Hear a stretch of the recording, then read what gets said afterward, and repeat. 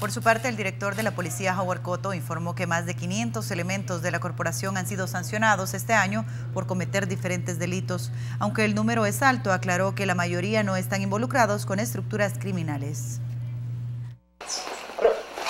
Mucho se ha cuestionado el trabajo de la policía en los últimos meses, por lo que el director de la institución despejó algunas dudas. No tengo el dato exacto, pero eh, tenemos un aproximado de 560 en lo que va del año. Sin embargo, explicó que la mayoría han cometido delitos menores. Por, por delitos de cualquier índole, ¿verdad?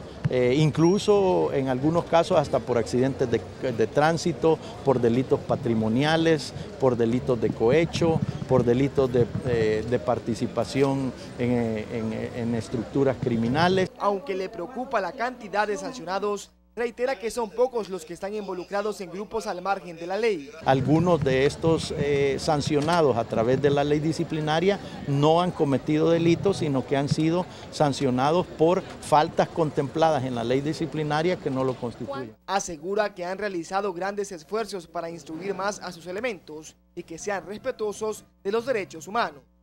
Para Teleprensa, Canal 33, Jorge Trillos.